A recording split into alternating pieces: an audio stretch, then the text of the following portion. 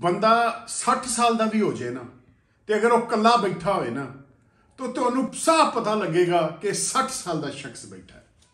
ਤੇ ਅਗਰ ਉਹਦੇ ਚਾਰ ਯਾਰ ਬੈਠੇ ਹੋਣ 60 60 ਸਾਲ ਦੇ, ਤੇ ਤੁਸੀਂ ਉਹਨਾਂ ਨੂੰ ਗੱਪਾਂ ਮਾਰਦੇ ਹੋਇਆ ਹੱਸਦੇ ਆ, ਖੇਡਦੇ ਆ, ਜਦੋਂ ਵੇਖੋਗੇ ਨਾ, ਤੇ ਤੁਹਾਨੂੰ ਐਸਾ ਹੀ ਲੱਗੇਗਾ ਜਿਵੇਂ 20 25 25 ਸਾਲ ਦੇ ਨੌਜਵਾਨ ਬੈਠੇ ਨੇ। ਤਾਂ ਕਿ ਉਹ ਮੁਸਕਰਾ ਰਹੇ ਹੋਣਗੇ, ਉਹ ਜਵਾਨਾਂ ਦੀ ਤਰ੍ਹਾਂ ਖੇਡ ਰਹੇ ਹੋਣਗੇ ਇੰਜੋਏ ਕਰ ਰਹੇ ਹੋਣਗੇ। ਖੁਦਾਰਾ ਯਾਰ, ਇਹ ਪੈਸੇ ਦੀ ਦੌੜ ਨੇ ਸਾਨੂੰ ਯਾਰਾਂ ਤੋਂ ਬਹੁਤ ਦੂਰ ਕਰ ਦਿੱਤਾ। ਦੇਖੋ, ਪੈਸਾ ਤੇ ਸਿਰਫ ਤੁਹਾਡੀਆਂ ਜ਼ਰੂਰਤਾਂ ਪੂਰੀਆਂ ਕਰਦਾ ਹੈ। ਹੱਸਣ ਲਈ ਤੇ ਤੁਹਾਨੂੰ ਯਾਰਾਂ ਦੀ ਜ਼ਰੂਰਤ ਪੈਂਦੀ ਹੈ। ਉਹ ਕਹਿੰਦੇ ਨੇ ਨਾ, ਯਾਰਾਂ ਨਾਲ ਬਹਾਰਾਂ। ਜ਼ਿੰਦਗੀ ਦੇ ਵਿੱਚ ਦੋਸਤ ਬਣਾਓ ਖਾਨਦਾਨੀ ਬਣਾਓ, ਅੱਛੇ ਦੋਸਤ ਬਣਾਓ, ਤੇ ਫਿਰ ਉਹਨਾਂ ਦੇ ਨਾਲ ਜ਼ਿੰਦਗੀ ਇੰਜੋਏ ਕਰੋ। ਤੇ ਇੱਕ ਹੋਰ ਵੀ ਗੱਲ ਦਾ ਦੱਸ ਦਿੰਦਾ।